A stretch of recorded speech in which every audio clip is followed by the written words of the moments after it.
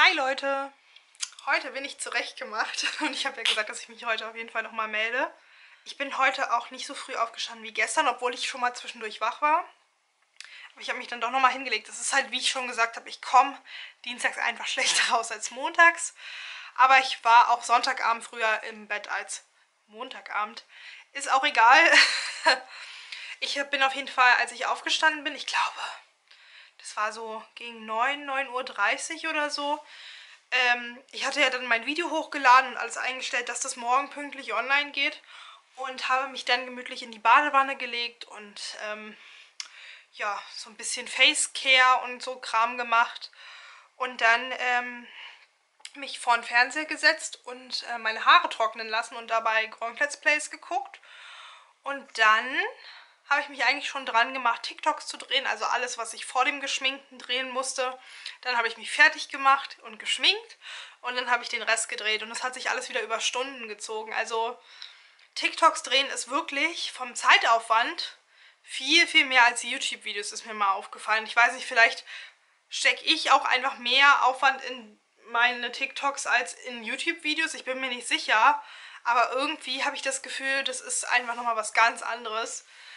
Ähm, ich habe dafür halt schon wieder dann den ganzen Tag ein, obwohl man sagen muss, ich habe natürlich auch erst gegen 14 Uhr angefangen und mit allem und fertig war ich so gegen 17 Uhr. Also, ja gut, drei Stunden geht noch, aber ich habe das Gefühl, ähm, alle anderen Videos dauern nicht mal halb so lang. Äh, aber gut, TikToks muss ich auch nicht wirklich schneiden. Deswegen dauern sie ja in der Produktion so lange, weil man versucht direkt auf den Schnitt genau alles passend zu machen. Ja, wie auch immer. Äh, dafür gehen bei, bei YouTube-Videos halt ähm, im Schnitt ein paar Stunden drauf.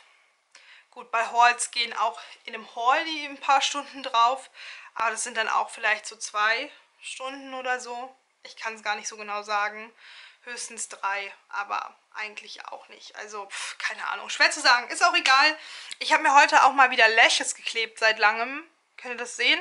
Die sehen so natürlich aus. Meine Mom wusste gar nicht, dass ich überhaupt Lashes drauf habe. Das sind nämlich von Kiss die Shy Lashes. Ich bin mir nicht mehr sicher, ob ich die schon mal drauf hatte, denn ich habe mir die ja damals gekauft und habe dann irgendwie, weil ich meiner Cousine ein Tutorial zeigen wollte, wie man Lashes klebt und sie hatte sich die nämlich auch gekauft und dann wollte ich ihr das natürlich mit denen zeigen und habe eine Lash verloren, also einen kompletten Wimpernkranz. Der ist auch bis heute weg.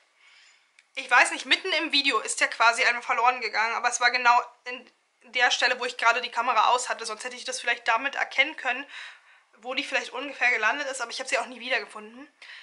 Keine Ahnung, einfach gone.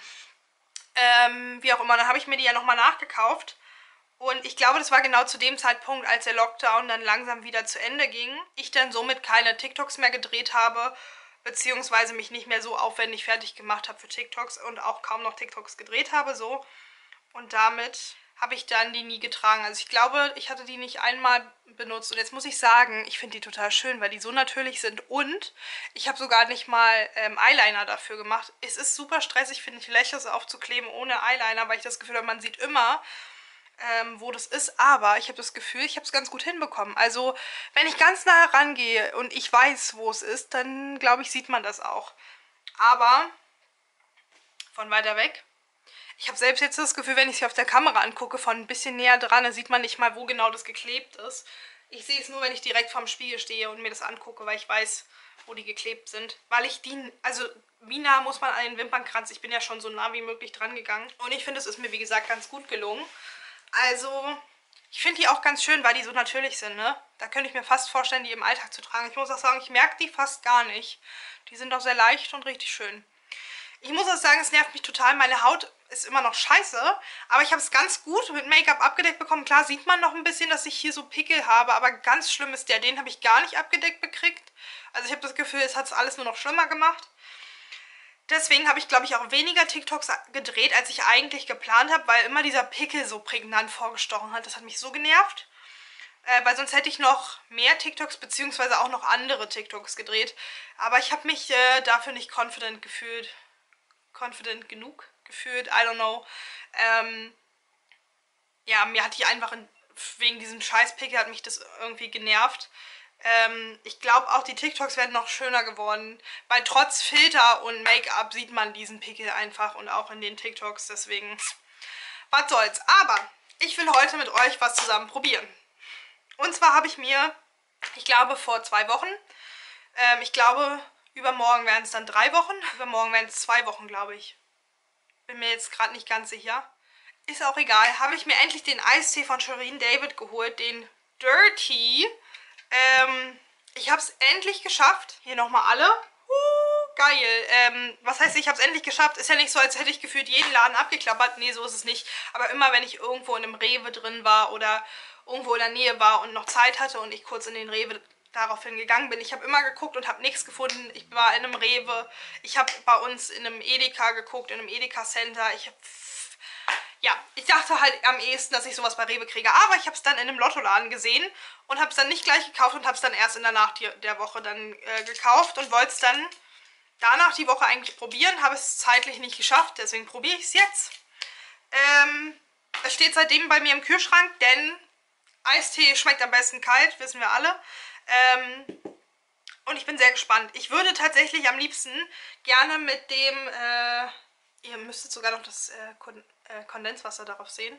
Ähm, ich glaube, ich fange mit Candy Shop an. Ich liebe das auch mit diesen ähm, ja, Schutzfolie, mit diesem Plastikzeug hier oben, also mit dieser Schutzfolie oben drauf, wegen so Bakterien und so. Daran denkt man nie, dass man da mit dem Mund reingeht, ne? Also erstmal wird es auf jeden Fall geschüttelt, aber das hätte ich euch auch gleich sagen können, dass man Eistee meistens geschüttelt trinkt. Äh, für alle, die es nicht wissen, tatsächlich. Ich schüttel Eistee auch immer, ähm, wenn ich Fanta trinke oder ähm, Arizona, weil man das halt einfach so macht. Keine Ahnung, es ist ja kein Getränk mit Kohlensäure. Versteht ihr, was ich meine? Deswegen war das für mich kein Geheimnis oder nicht so, boah, krass. Ignoriert diesen Pickel einfach. Ich sitze hier übrigens auf dem Boden. Ich habe keinen Tisch, es tut mir leid, sonst könnte ich euch das cool präsentieren. Das habt ihr bestimmt überall eh schon gesehen.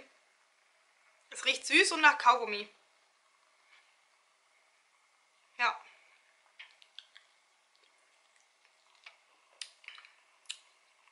Schmeckt auch nach Kaugummi. Oder ist es Kaugummi? Doch, ich glaube. Erinnert mich so ein bisschen an irgendein Kaugummi aus meiner Kindheit. Schmeckt aber sehr geil, muss ich sagen. Zuckerwatte-Geschmack. Ich hätte jetzt mehr...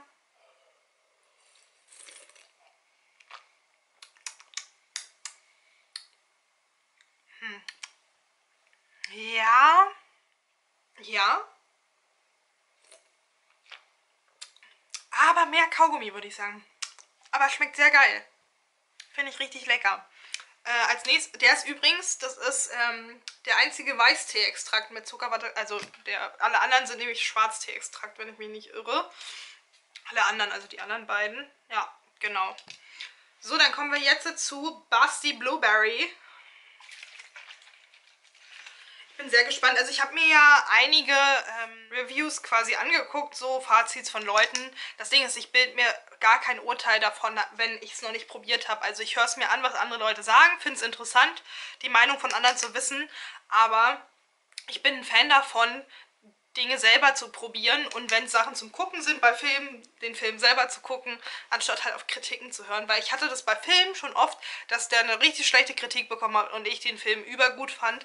Oder dass ein anderer Film mega gute Kritiken bekommen hat und ich gedacht habe, ja, schon bessere gesehen. Versteht ihr, was ich meine? Ähm, ja, und das gleiche gilt halt auch bei Lebensmitteln. Es gibt Leute, die sagen zu irgendwas, oh, mega lecker, musst du probieren. Dann probiere ich es und denke mir, ja, ist okay oder mag ich gar nicht, aber das und das ist besser oder wie auch ähm, immer. Oder wo andere sagen, es schmeckt überhaupt nicht und dann probiere ich es selber und denke, ich finde es tatsächlich mega geil. Das hatte ich auch schon oft, deswegen, es ist halt alles so Geschmackssache. Kommen wir zu, ähm, was hat der jetzt für ein Geschmack? Also Basti Blueberry ist halt, ja, Heidelbeer-Geschmack. Hätte ich jetzt auch nichts anderes erwartet.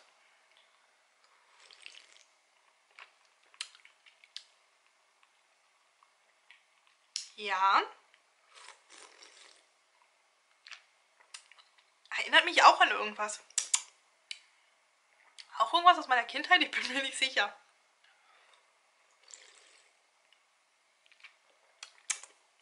Schmeckt aber auch gut.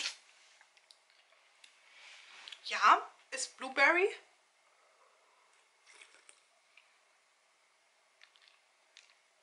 Also, denke schon. Ich würde jetzt gar nicht wissen, ob es noch nach was anderem schmeckt. Bin mir nämlich nicht sicher, weil hier steht nämlich auch noch drin Holunder ähm, beziehungsweise Holunder-Beersaft-Konzentrat, das ist ja auch mit drin. Ich bin mir gar nicht sicher, ob ich das auch ganz leicht rausschmecke. Kann ich tatsächlich gar nicht so genau sagen. Wenn ich jetzt schon mal sagen müsste, welche Sorte mir besser schmeckt, hätte ich jetzt spontan, glaube ich, gesagt Candy Shop. Obwohl ich das ganz schwierig finde, Candy Shop und Basti Blueberry zu vergleichen. Denn Candy Shop ist süßer als Basti Blueberry. Und ich glaube, also beides ist nicht todessüß. Ich ähm, muss ja sagen, ich habe halt in den letzten Monaten sehr viel Süßgetränke und vor allem auch Eistee getrunken. Ich wollte das eigentlich mal wieder minimieren. Ähm, nicht sehr gut. Aber da ist mir zum Beispiel auch schon aufgefallen, ich habe ja eine Zeit lang nur Arizona-Eistees getrunken. Dann irgendwann habe ich angefangen mit Pfanne-Eistees. Und dann bin ich irgendwann wieder geswitcht zu Arizona. Und dann hatte ich mal beide Sorten da. Und wenn ich zum Beispiel schon verglichen habe, den Arizona ähm, Pfirsich-Eistee mit dem Pfanner Pfirsich-Eistee, der von Arizona hat deutlich künstlicher geschmeckt, also in allem. Und ich muss sagen, die von Shirin schmecken überhaupt nicht künstlich. Ich habe auch mal den von Capital Bra, den Wassermelone, äh, bei meinem Cousin probiert. Und habe ich den probiert. Aber ich glaube, der hat auch nicht so künstlich geschmeckt wie die Wassermelone von Arizona. Also die Arizona-Eistees schmecken schon sehr, sehr künstlich. Deswegen trinke ich da auch eigentlich am liebsten diesen Grüntee mit Honig. Weil ich finde, der schmeckt am wenigsten süß. Weil dieser Pfirsich-Eistee schmeckt so süß und künstlich. Ähm, ja, also ich bin sowieso eigentlich mehr der Zitroneneistee als Pfirsich-Eistee-Typ, muss ich auch noch dazu sagen. Aber zum Beispiel bei Fana ähm, ist meine Lieblingssorte, glaube ich, Kirsche. Also neben dem Zitroneneistee ist es, glaube ich, Kirsche. Ähm, und halt, wie gesagt, bei den ähm, von Arizona ist, da gibt es nur aus diesen Dosen gibt es da diesen Zitroneneistee und den liebe ich, aber den gibt es leider nicht in den Flaschen. Also zumindest habe ich den nie gesehen, den, der wird irgendwie bei uns nicht verkauft, obwohl ich mal online gegoogelt habe, es gibt den wohl in Flaschen, aber I don't know. Und da mag ich dann halt, wie gesagt, wenn ich jetzt von den Flaschen ausgehe und wir den Zitroneneistee weglassen, da mag ich halt wirklich ähm, am liebsten dann diesen Grüntee mit Honig. Der schmeckt mir so sehr, also den mag ich sehr gerne von Arizona.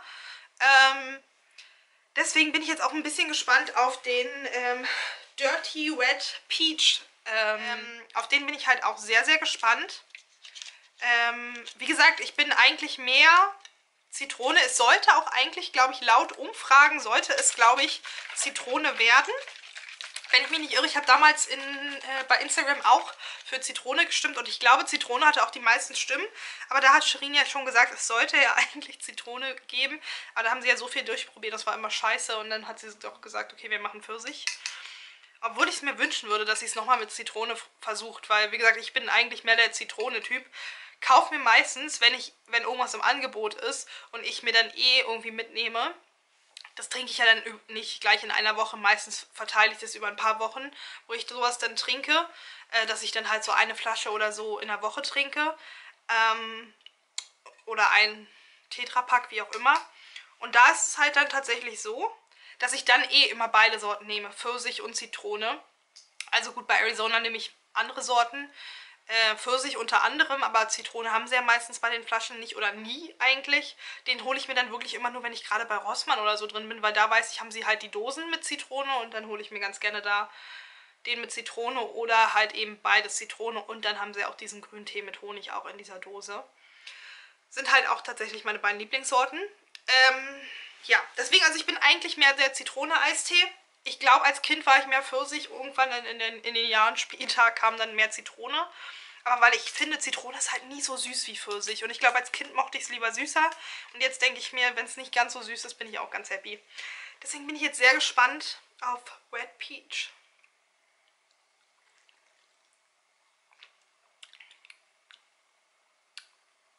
Ja. schmeckt tatsächlich nicht so künstlich wie der Arizona Pfirsich-Eistee, sondern schmeckt auch relativ natürlich. Erinnert mich an irgendeinen anderen Pfirsich-Eistee. Ich weiß jetzt aber nicht welchen. Kann ich euch jetzt nicht sagen. Fuse Tea habe ich ja auch eine Zeit lang getrunken. Schmeckt aber auch gut. Bei Fuse Tea trinke ich tatsächlich auch, glaube ich, am liebsten Zitrone und dann Pfirsich. Ähm, es gibt ja auch andere Sorten. Ähm, ich habe schon mal diesen Pfirsich und Hibiskus probiert. Mag ich leider gar nicht. Obwohl ich Hibiskus-Tee liebe. Also ganz normalen Hibiskus-Tee auch trinke. Ähm, aber in diesem Fuse Tea Pfirsich mit Hibiskus irgendwie passt es gar nicht. Ähm, und die sind, glaube ich, auch relativ süß. Es gibt ja jetzt auch welche, die halt auch ähm, so Zero sind mit weniger Kalorien. Ja, die schmecken auch leider gleich. Ich ähm, bin nicht so der Zero-Fan, weil ich diesen Süßstoffgeschmack nicht so mag. Ich hatte mal irgendeine Sorte mit Holunder. Und da habe ich gedacht, die hätte geil werden können, wenn es nicht die mit, wenn es die nicht nur mit weniger Kalorien gegeben hätte. War das sogar Pfirsich-Holunder? Ich weiß es gerade nicht mehr. Aber wie gesagt, also Zitrone und Pfirsich mag ich bei Fuse Tea schon sehr gerne, aber ich glaube, da tendiere ich auch mehr zu Zitrone. Ich habe jetzt auch überlegt, an welchen äh, mich der jetzt erinnert. Ich bin mir nicht sicher, ob das auch irgendein Pfirsich-Eistee aus meiner Kindheit ist. Ich komme hier die ganze Zeit mit Sachen aus meiner Kindheit, aber irgendwie habe ich das Gefühl, irgendwie erinnert mich das daran. Ich überlege gerade, was hat man in der Kindheit für Eistees getrunken? Lipton hat man getrunken. Dann gab es auch dieses Nesty oder so. Das war doch von ähm, Nestle irgendwie. Und es ist doch dann auch jahrelang vom Markt verschwunden. Ich glaube, die sind jetzt wieder da oder so. Habe ich irgendwas gelesen letztens. Ich weiß es nicht. Die habe hab ich als Kind, glaube ich, auch ein bisschen. Also, wenn, wenn ich dann mal Eistee getrunken habe. Ich habe als Kind tatsächlich gar nicht so viel Eistee getrunken. Ähm, eigentlich fast nie, also ganz selten mal. Aber an irgendeinen von damals erinnert mich der. Ich kann halt nur nicht mehr sagen, welcher. Aber ist auch lecker. Ich könnte euch auch tatsächlich gerade gar nicht sagen, auf was ich, also was ich am besten finde. Bei Pfirsich ist halt so ein Klassiker, so ein Standardding. Für den würde ich mich jetzt wahrscheinlich entscheiden, wenn ich so Standard einfach irgendwie jetzt keine außergewöhnliche Sorte trinken will an Eistee. Ähm, und bei Basti Blueberry und äh, Candy Shop, also Candy Shop ist ja schon, sag ich mal, mehr das Außergewöhnliche. Basti Blueberry gibt es ja, glaube ich, auch mittlerweile oder zumindest Sachen in die Richtung gibt es bestimmt auch bei anderen Eistees. Ich bin mir nicht sicher. Äh, es gibt ja mittlerweile schon super viele Sorten, egal in, bei welcher Firma. Und ähm, ja, ich weiß nicht. Also ich glaube, Candy Shop hat mir ein bisschen besser geschmeckt, weil Candy Shop ein bisschen mehr Geschmack hat als Basti Blueberry. Also süßer ist, würde ich jetzt sagen. Aber pff, also, also im Endeffekt sind alle nicht übertrieben süß und das finde ich ganz gut. Ähm, deswegen muss ich sagen, finde ich alle tatsächlich sehr, sehr lecker. Deswegen bin ich so verwundert, dass einige Leute so ein bisschen schock waren. Ähm, also ich glaube, ich finde Candy Shop ein bisschen besser als Busty Blueberry, wenn ich mich jetzt entscheiden müsste. Ich weiß aber auch nicht, wo ich Pfirsich einordnen würde. Weil das halt ein Standard ist und schmeckt halt immer, glaube ich. Also ich glaub, kann mir vorstellen, dass Pfirsich bestimmt auch das, was, es, was am meisten verkauft wird, kann ich mir gut vorstellen, weil es einfach eine Standardsorte ist. Es gibt ja so viele Leute, die Eistee trinken und dann immer entweder Pfirsich oder Zitrone trinken. Es gibt ja immer, glaube ich, die Leute, die lieber Pfirsich mögen und die Leute, die lieber Zitrone mögen. Ich mag, wie gesagt, beides, tendiere aber auch immer mehr zur Zitrone. Ähm, und so Leute, die, glaube ich, regelmäßig Eistee trinken, da gibt es ja wirklich viele, die wirklich nur Zitrone oder Pfirsich trinken. Und ich glaube, ähm, deswegen wird halt Pfirsich, denke ich mal, am meisten verkauft. So wird es bestimmt auch bei den Capital Bra Eistees sein. Ich habe da ja, wie gesagt, noch nicht so richtig durchprobiert. Wollte ich eigentlich auch mal alle durchprobieren. Oder von 4Bro heißen die so. Von der Firma. Wollte ich auch mal ähm, die Eistees probieren. Es gibt ja mittlerweile so viele Eisteesorten. Genau, Durstlöcher gibt es auch noch. Ich glaube, da trinke ich am meisten auch entweder Zitrone Früher habe ich ganz oft immer Wassermelone getrunken. Ich glaube, meistens trinke ich da auch entweder Pfirsich oder Zitrone, aber meistens schon halt eher Zitrone. Ich glaube, die anderen Sorten bin ich ja gar nicht so into it. Ja, wie auch immer. Also es gibt halt so äh, sowas wie Capital Bra Eistee oder den Forbro Eistee, den würde ich halt auch gerne noch durchprobieren. Äh, aber die haben halt übel viele Sorten, ne? Da habe ich gedacht, so, die von Sherin, die kaufe ich mir mal schneller, weil die sind halt nur drei Sorten. Ich bin aber auch super gespannt darauf, wenn dann endlich ihr Eistee mit Alkohol rauskommt. Ich bin mir nicht ganz sicher, ob es am Ende auch wirklich Eistee mit Alkohol ist, denn sie hatte, glaube ich, mal einen Snippet gezeigt ähm, auf der Dirty Instagram-Seite, wo sie auch so am Durchprobieren war und dann meinte sie, oh, safe mit äh, Kohlensäure, mit Kohlensäure ist viel besser oder irgendwie sowas meinte sie und dann dachte ich so, naja, wenn es mit Kohlensäure ist, ist es ja kein Eistee mehr, aber es gibt ja mittlerweile Eistee mit Kohlensäure. Ich glaube, Lipton hat doch hier dieses Lipton Sparkling rausgebracht. Ähm, da denke ich mir auch, why? Also ich habe es einmal getrunken und dachte mir, hm, ist okay. Ist aber nicht so geil. Also ich weiß noch, da war ich noch jünger. Da hatte ich meine Eisteeflasche bei mir hier oben im Zimmer. Die war angefangen. Und ich habe da so lange nicht draus getrunken. Und ich dachte irgendwie ein paar Tage später, dass ich da noch draus trinken kann. Vielleicht war es auch eine Woche später. Tatsächlich kann ich mich nicht mehr daran erinnern. Es war aber auch nicht ewig später. Ich weiß es nicht. Auf jeden Fall habe ich dann so einen Mini-Schluck probiert. Und da war Kohlensäure drin. Und es war Eistee ohne Kohlensäure vorher. Versteht ihr, was ich meine? Er ist einfach gegoren. Ähm, und da muss ich halt sagen, daran erinnert mich das so ein bisschen, obwohl es nicht so schmeckt, äh, wenn man jetzt Lipton Sparkling oder irgendwas trinkt. Aber ich denke mir halt, Eistee sollte keine Kohlensäure haben, weil Eistee ist für mich so, äh, manchmal habe ich Bock auf süße Getränke, aber will kein süßes Getränk mit Kohlensäure. Also manchmal bin ich einfach nur genervt von Kohlensäure. Ich bin auch Typ stilles Wasser. Ich bin nicht so der Fan von äh, Wasser mit Kohlensäure tatsächlich. Trinke ich auch, wenn nichts anderes da ist, obvious. Aber ich trinke dann auch ganz gerne Wasser aus der Leitung. Habe ich auch kein Problem mit. Außer äh, man weiß, aus der, in der Stadt kann man kein Wasser aus der Leitung trinken. Versteht ihr, was ich meine? Ähm, dann trinke ich auch mit äh, Kohlensäure. Aber wie gesagt, ich finde, Wasser mit Kohlensäure hat auch immer so einen weirden Geschmack. Aber das sagen auch viele über stilles Wasser. Ich glaube, entweder bist du Team stilles Wasser oder Team äh, Sparkling Water. Ähm, wie auch immer. Und wie gesagt, Eistee finde ich sollte auch ohne Kohlensäure sein. Und wenn ich dann immer Bock habe auf ein Getränk, was süß ist, aber ohne Kohlensäure, dann habe ich eigentlich meistens nur Eistee oder Capri-Sonne als Auswahl. Ich habe eine Zeit lang ganz viel Capri-Sun oder Capri-Sonne getrunken und irgendwelche Tetra-Packs mit Orangenzeug, was im Endeffekt ja auch wie Capri-Sonne war. Capri-Sun, whatever. Ähm, ja, keine Ahnung. Ähm, aber das ist so das, worauf ich, wenn, dann eher Bock habe. Ich bin, dann sage ich, nee, Cola, Fanta, Sprite auch nice. Keine Frage, trinke ich dann auch mal. Aber das ist ja so das, was man ja meistens in Restaurants oder in Fastfood-Ketten oder generell, wenn man essen geht oder so, dann trinkt man das ja schon. Deswegen finde ich das so cool, dass einige Burger King-Läden mittlerweile Fuse Tea anbieten und McDonalds-Läden Lipton Ice Tea. Finde ich irgendwie ganz geil. Ähm, dass es mittlerweile sogar Eistee zur Auswahl gibt. Aber wie auch immer, ich finde es auf jeden Fall, ich bin, ähm, ja, ich trinke ganz gerne Eistee. Und ähm, deswegen, wie gesagt, finde ich das mit Kohlensäure irgendwie weird. Deswegen bin ich gespannt, wie das mit von Sherin wird. Es wird ja dann wahrscheinlich trotzdem noch Eistee mit Kohlensäure sein. Aber dann, wie gesagt, noch zusätzlich mit Alkohol. Ich bin super gespannt, was da so rauskommt und was da für Sorten rauskommt. Also das interessiert mich ja tatsächlich am meisten irgendwie.